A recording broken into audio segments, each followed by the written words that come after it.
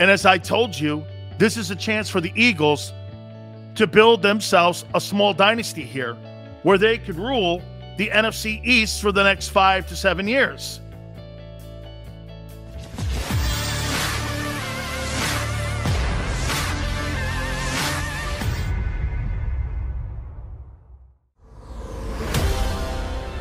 Welcome back. Hour two National Football Show. Guys, please hit the like button. You guys know what 3 and 10 represents? You have any idea what th- 3 and 10 means? Any idea? Since 1998, that's the Dallas Cowboys postseason record. You heard me right. The Cowboys' postseason record since 1998 is 3 and 10. 3 and 10.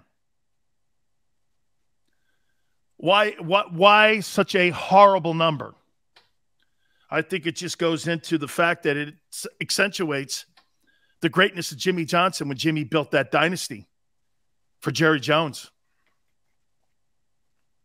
They've never been able to get out of their own way. Where it is now, Ezekiel Elliott will be cut in the offseason unless he takes a drastic reduction in pay. And as I told you, this is a chance for the Eagles to build themselves a small dynasty here where they could rule the NFC East for the next five to seven years. I mean, you have draft equity here, three first round draft choices. 11 picks that will go with compensation picks up. You'll probably have as many as 15 picks by the time you get to the April draft. Okay? So you're in a position right now where you know history is on your side if you do it right.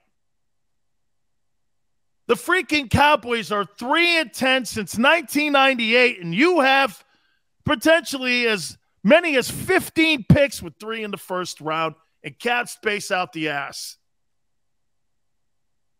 This is the most important offseason in Philadelphia Eagle history. History.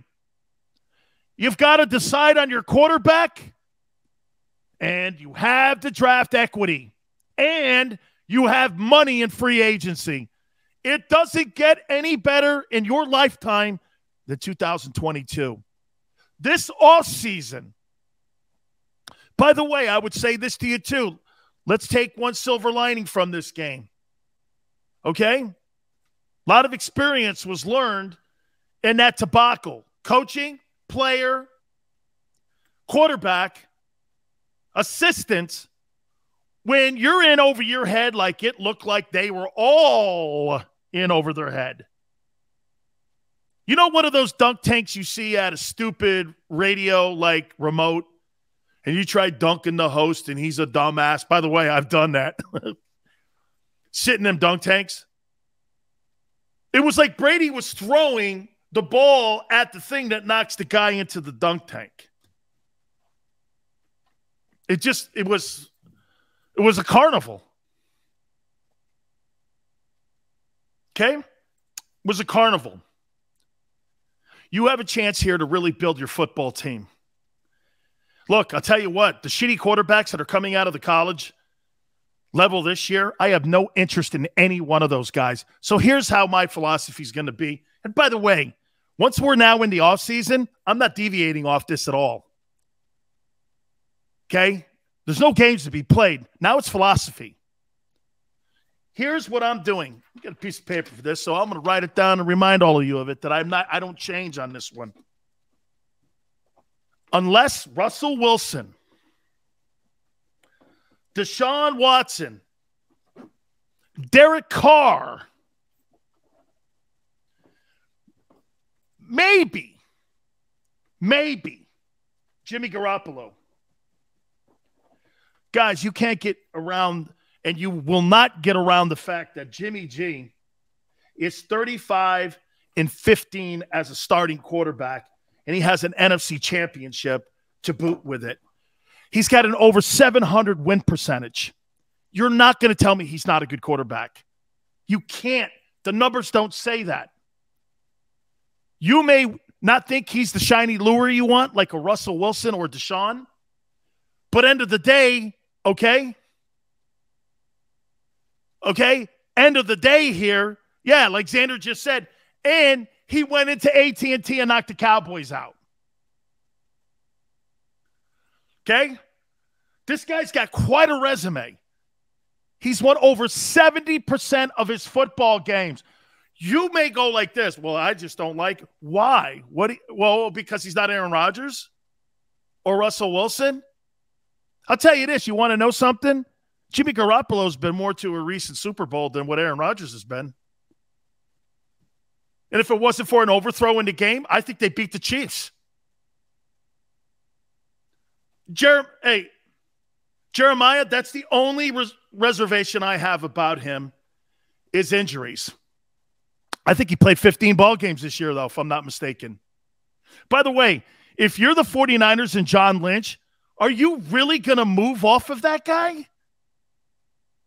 Are you, get this, and you traded up and you gave a myriad of picks away to get to that three hole to get Trey Lance. Are you really in this offseason? What if Garoppolo goes to the NFC title game? He could. Wait a minute. 49ers versus the Packers. What's the one thing the Packers can't do? Stop the run? Holy cow, you're playing against a physical football team at San Francisco. Could the 49ers go up to Green Bay and win that game? Absolutely. Absolutely. So if I'm Howie Roseman and I'm looking at Jimmy G, he goes up and watch this. He knocks Dak out in Dallas, and then he goes up to Green Bay and knocks Aaron Rodgers out. Garoppolo then has to go down to Tampa potentially and play Brady down there for the NFC title game. Lou says, damn, near everybody been shutting me down when I say Jimmy G. Lou, their, their argument is because he's not as well known as the other guys and because he gets hurt. But hey, Chris, nobody saw the Niners rolling into Dallas and pounding them that way. BF, you're damn right. Those Niners are dogs and they're big and physical. Who am I picking? We'll get close to the end of the week here. So listen, here I go. Follow me here. Unless Russell Wilson, Deshaun Watson, Derek Carr, or Jimmy G. Those are the quarterbacks. Those are the four quarterbacks I would have on my radar. The rest of them, you can keep them. Jared Goffs and these other losers. Sam Darnold's and those guys. I don't want anything to do with those. I'm all right with Jalen. Unless one of those four guys goes, hey, I'll put my hand up and listen to Philly. I have no interest in changing my quarterback out right now. I, I have no interest in starting over again. I'm going to take what happened on Sunday and move forward. Like I said, though, I am going to kick the tires on Garoppolo. Carr What's the likelihood? Watch this. What's the likelihood of me having a conversation with John Lynch in San Francisco about Jimmy G? Probably 95%. I could see Garoppolo in Pittsburgh. Derek Carr. Depends who they hire as coach. If Bisaccia doesn't get that job, Carr made it very clear he wants out. Okay? I say that that is more of a that's more of a 15% chance for Derek Carr. Deshaun Watson, with all the things that are going on in his life, with all the draft equity that the Eagles have, both teams will definitely listen. Watson has a no trade too, though. Okay? He's got a no trade in there. The chances that Howie picks the phone up and talks to Nick Caserio, the GM of the Texans, is probably 70%. Remember, Texans want to move him. They want to get out from under the guy. Now, get this. There's a comment saying that maybe if they hire Brian Flores, he'll stay. You still got the people upstairs, the McNairs, who own the team. Chances of Russell Wilson coming to Philly, 5%. At least right now, Garoppolo is your best chance of having big time conversations on. The second will be Deshaun Watson. Third would be Carr, but low. And Russell's going to pick a place that's going to be. Remember something, though. He's got to pick a place to win. He just can't go. Well, you know, I heard I heard Gary Cobb go. Well, go to New. Why would you go to New York? They they haven't got the coach right. They haven't got the GM right, and they haven't got the quarterback right since Eli left. Why would I go there? The Giants are. That's not a place for a veteran quarterback to go, especially with one of the worst O lines in the NFL. Chris R says, much like the Colts, we really rely on the run game and limit QB touches. Yeah, but Chris, tell me the difference in what's going on in San Francisco compared to Philadelphia.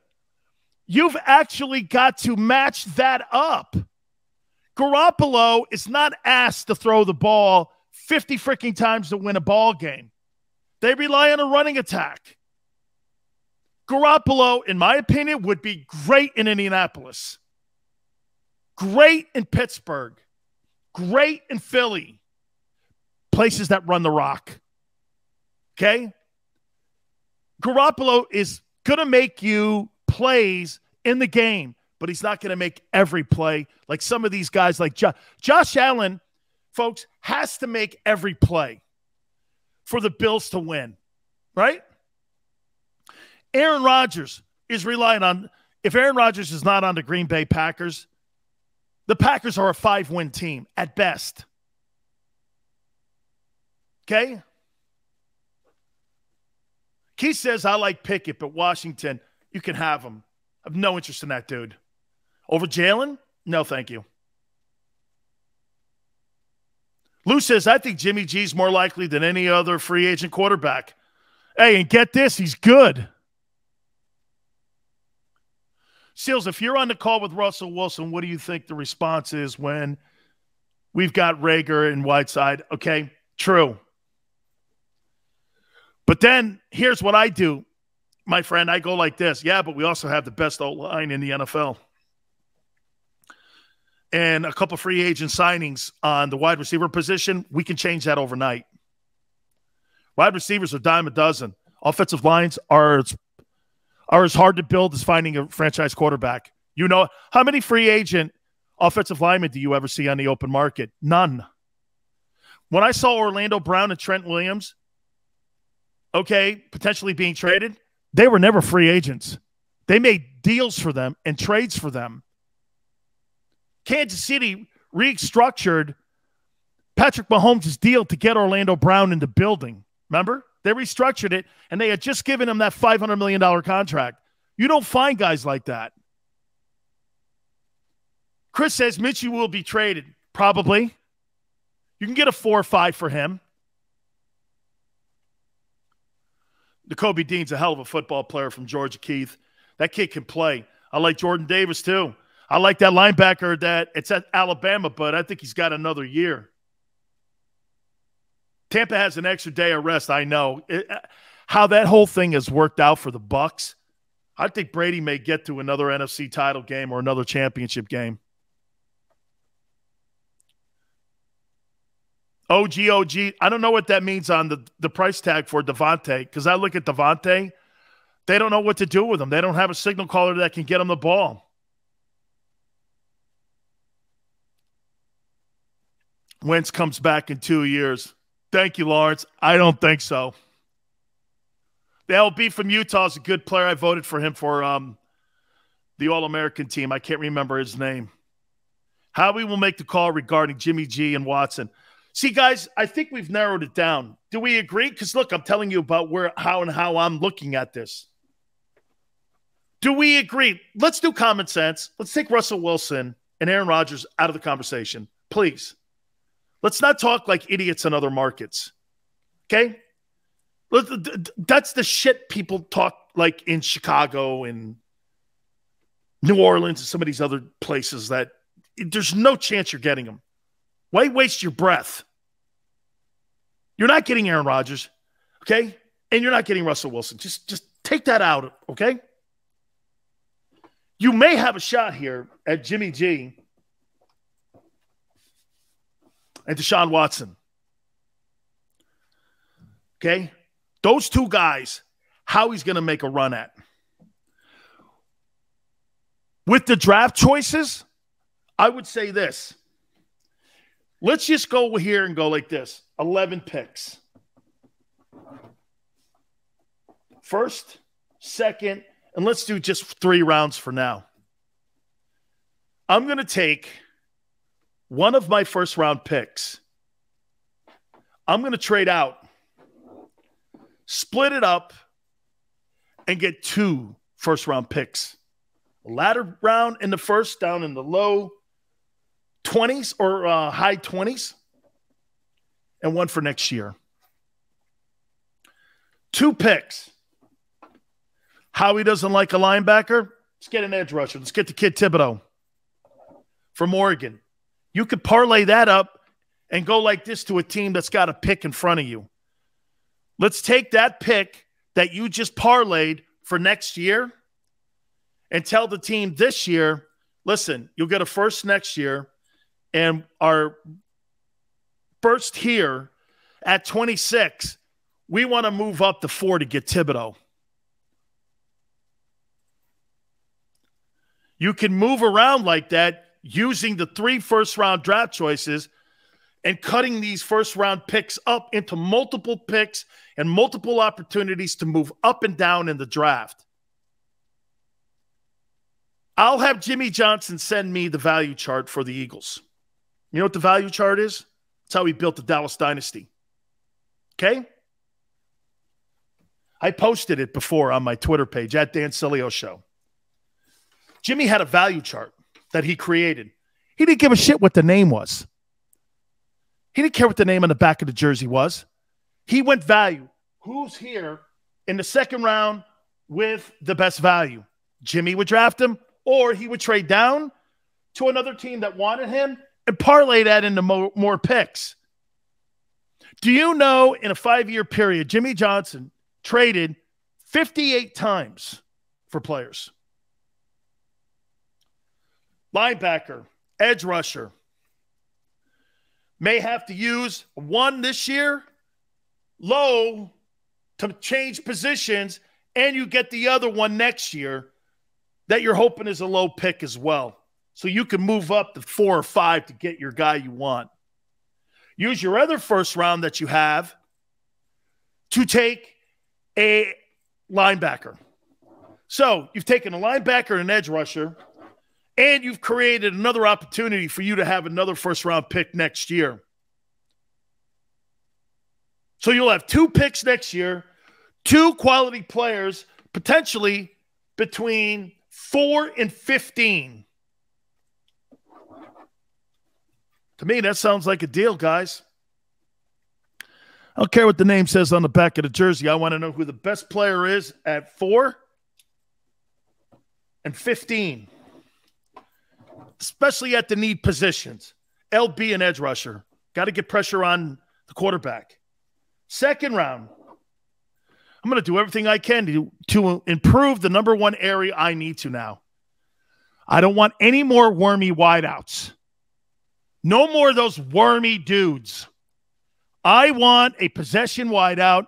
I want a guy like Samuel with the 49ers. I want that kid. That's the kid I want. I want that guy to be on the other side of DeVonta Smith. I want that. I'm going to take my other picks in a second, and I'm going to increase and improve my offensive line. Have to keep retooling that line, creating depth. D line and O line. That's where I'm going here. Third round, I'm getting a freaking safety. Jesus criminy. Eagles safety suck out loud. I mean, they've had a problem there at that position for the last five years. Safety in there. Hey, get a back, too. More running backs. Build around Jalen here. You start building around Jalen this way. Get this in the process, what you've done is you've created a position to improve your defense in the three premium rounds. You've created depth in your offense and defensive lines. And if you're not happy with Jalen, you move off him after 2023 and you look what's in the draft or you look at free agency and go, look at what we've built here. And we still have draft assets that we've traded. And because we have a young team, our cap's not through the roof like the Cowboys. The Cowboys are in purgatory right now. People have to be cut. The Eagles are not in any peril with that. I don't want Goodwin Lawrence. I want somebody like Julio Jones that knocks fuckers out or A.J. Brown. If you're going to be a run attack team, your quarterback struggles with accuracy as it is. Well, can he improve that? Lamar Jackson did. And most likely he will improve on that. Okay? You're going to build the team in the hopes. By the way, you're not going to worry about a really tough schedule next year because you were a wild card team. The Cowboys are going to have a tougher schedule because they're the division winner. The Cowboys will have a tougher schedule than you next year. That's also going to be an asset for you. Carl, I'm, hey, you know what, Carl? It, it, it, I learned it from my coach. My coach showed me. Mike Williams, Joshua, Mike Williams, I'm good with, but he he has he had a microfracture when he came out of Clemson, and I want to know how that is today. You know, when when Tom Telesco went and signed him, if you remember right, he missed a lot of his rookie season because he had a microfracture and he had a microfracture surgery. I just want to know what his health is. Okay. Hey, but Lawrence, again, you know, and know this: the the Chargers are not a team that's going to go out and spend a shitload of money on people. Okay. Smile says the Washington football team will have a better quarterback next year. Really? Where? Who? Could Garoppolo land there? If Jimmy Garoppolo landed in Washington, that would worry me if I was uh, the Eagles. That would worry me because Washington's not that far behind you. You know, they get Chase Young back. They got a good defense. Line's not bad. They can run the ball. That would that would bug me. If Garoppolo lands in Washington, boy, they improved that position overnight. And they struggle at that position. But yet, guess what? Ron Rivera is such a good coach. They still win ball games.